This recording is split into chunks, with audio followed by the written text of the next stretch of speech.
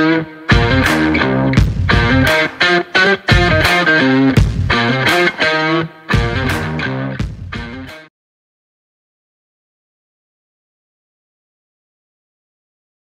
guys, welcome to my video. Uh, this one's going to be on your fuse box location on the BMW E46.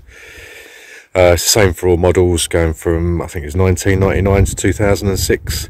So uh, always a good point of call to check first if you've got any electrical issues uh, with things not working, like electric mirrors, wipers, things like that. So uh, open your glove box, and you've got two little white tabs at the top there so you just uh, flip them round, pull down, and there's your fuse location.